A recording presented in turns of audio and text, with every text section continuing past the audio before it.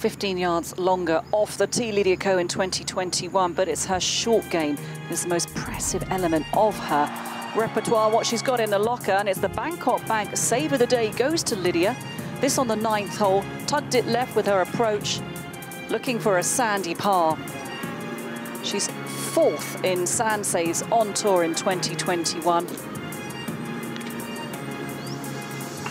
This right to left curler up the slope, escaping with a par at the ninth hole, and Lydia Ko, the Bangkok Bank save of the day.